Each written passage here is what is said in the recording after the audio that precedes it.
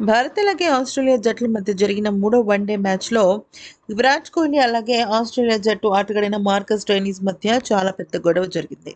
మ్యాచ్లో first batting చేసిన Australia team నలభై తొమ్మిది ఓవర్లలో రెండు వందల అరవై తొమ్మిది పరుగులు చేసింది. అదంతా బాగానే ఉంది. అనంతరం ఛేదనకు దిగిన భారత జట్టు పన్నెండు పాయింట్ రెండు ఓవర్లు ముగిసే సమయానికి డెబ్బై ఏడు పరుగులు చేసి రెండు వికెట్లు కోల్పోయిన దశలో కేఎల్ రాహుల్తో కలిసి విరాట్ కోహ్లీ మూడో వికెట్కు తొంభై మూడు పరుగు బంతుల్లో అరవై తొమ్మిది పరుగుల భాగస్వామ్యాన్ని నెలకొల్పాడు. దాంతో ఈ భాగస్వామ్యాన్ని విడదీసేందుకు మార్కస్ టైనీస్ విరాట్ కోహ్లీ విషయంలో కవ్వింపు చర్యలకు దిగాడు. ఇన్నింగ్స్ ఇరవై ఒకటవ ఓవర్ వేసిన మార్కస్ స్టైనీస్ బౌలింగ్లో తొలి మూడు బంతులకి కేఎల్ రాహుల్ పరుగులు రాబట్టలేకపోయాడు. దాంతో నాన్ స్ట్రైక్ ఎండ్ నుంచి విరాట్ కోహ్లీ ఏదో సలహా ఇస్తూ కనిపించాడు.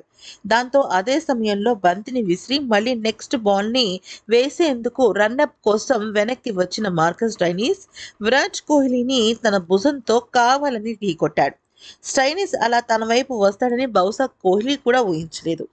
చాలా సీరియస్గా చూస్తూ కనిపించాడు. అయితే విరాట్ కోహ్లీ భుజాన్ని ఢీకొట్టిన తర్వాత మార్కస్ స్టైనిస్ కనీసం సారీ చెప్పడం కానీ లేకపోతే వేరే ఇంకేదైనా గెస్చర్ ఇవ్వడం కానీ చేయలేదు. పైగా కవ్వింపుగా నవ్వుతూ అతన్ని ఉడికించే ప్రయత్నం చేశాడు. దాంతో విరాట్ కోహ్లీ చాలా కోపంగా వెనక్కి తిరిగి చూస్తూ కనిపించాడు. ఆ తర్వాత కూడా ఈ ఇద్దరి మధ్య మాటల యుద్ధం నడిచింది. నిజానికి మ్యాచ్లో చాలా సీరియస్గా ఉన్నాడు కాబట్టి సరిపోయింది కానీ లేకపోతే విరాట్ కోహ్లీ గొడవకు దిగాడు అంటే ప్రత్యర్థి ఎవరైనా సరే కింద పడిపోవాల్సిందే. ఈ వీడియో కనుక నచ్చితే లైక్ చేసి సబ్స్క్రైబ్ చేసేసుకోండి.